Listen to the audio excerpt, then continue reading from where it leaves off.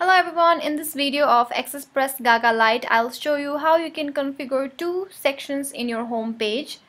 That is, this is the demo site of Press Gaga Lite and uh, these are the two sections uh, of which configuration I'm going to show you. That is this blog section and this call to action section. So let's get started by logging into your WordPress. Then go to appearance and then click on customize the first section that I'm going to show you to configure is then go to homepage setting is a blog section. If you want this kind of section in your website's homepage too then you have to check to enable. Then you can enter a menu title. And this title will appear in your menu. Like this which when clicked will take you to that section. Then you can enter your section's title.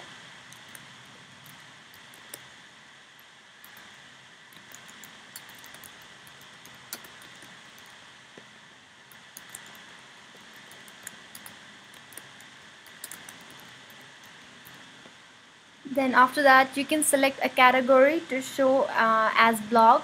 Well just to show you I'm gonna select this portfolio category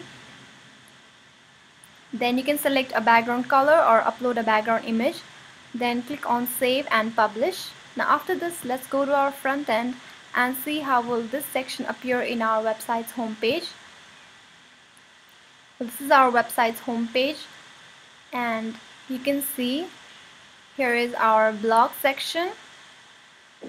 Well the latest post will appear here like this so this is the blog section and its configuration.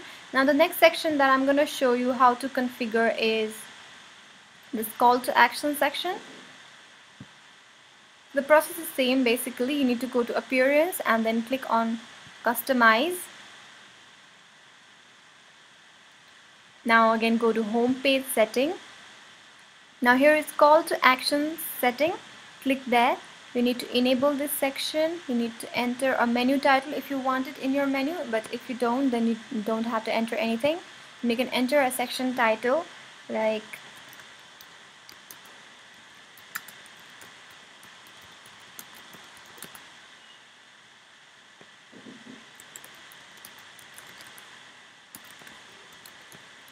you can use this span to just uh, span code to change your text size and color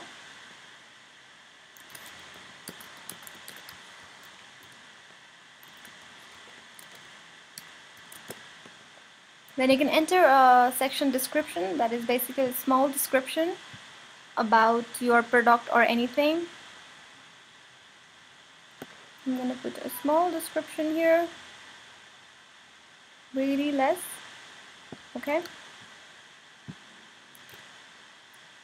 Then you can put a call to action button text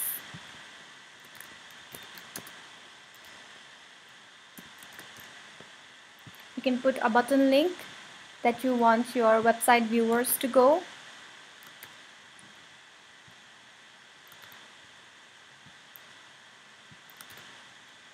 Then you can select a background color or a background image as in other sections and then click on save and publish. Now that your this section setting is saved, let's go to our front end and see the change there.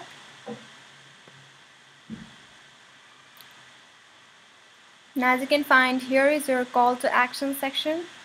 Well I think I have forgot to upload this image. Well, I'm gonna do it.